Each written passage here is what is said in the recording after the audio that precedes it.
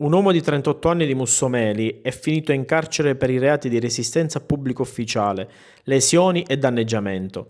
L'episodio si sarebbe verificato venerdì sera, quando l'uomo, sottoposto alla misura dell'affidamento in prove servizi sociali, avrebbe violato il divieto di allontanarsi dal domicilio dalle 21 alle 8.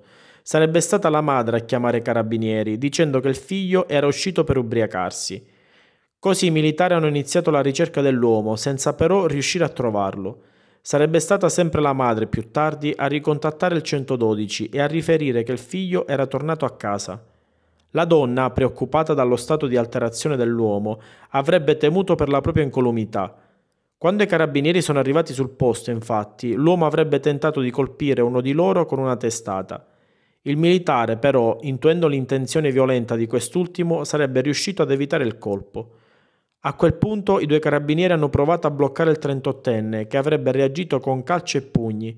Nonostante le manette, però, l'uomo sarebbe riuscito ad afferrare uno dei militari, facendogli battere violentemente la testa a terra. A quel punto, nonostante il cellulare di uno dei carabinieri si fosse rotto, i due militari sarebbero riusciti a chiamare rinforzi.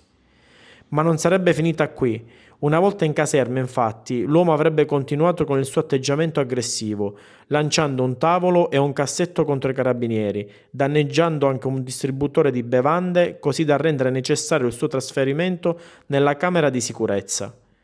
I due militari quindi sarebbero stati trasportati in ambulanza al pronto soccorso per le cure del caso, dove sarebbero stati curati e dichiarati guaribili in una settimana. Per l'uomo intanto si sarebbero aperte le porte del carcere, così come disposto dal PM Dario Bonanno.